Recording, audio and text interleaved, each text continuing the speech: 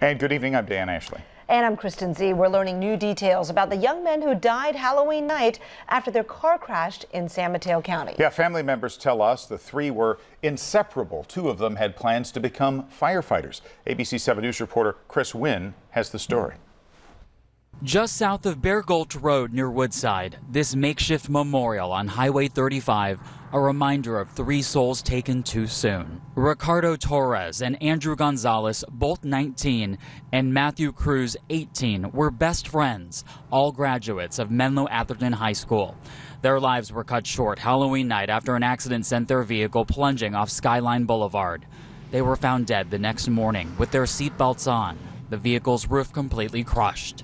They worked hard, they showed up on time, and they always stepped up to a challenge. At the Menlo Park Fire Protection District, a personal connection to this heartbreaking tragedy. Torres and Gonzalez were members of Fire Explorer Post 109. The two had planned on becoming firefighters and were looking at local fire academies.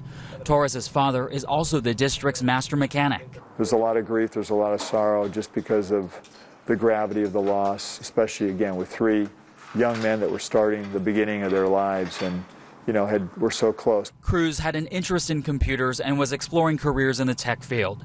The three families and their extended family at the fire protection district now trying to carry on.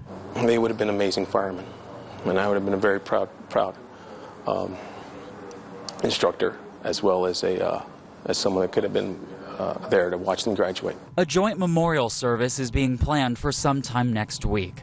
The accident remains under investigation by the CHP. In Menlo Park, Chris Nguyen, ABC 7 News. The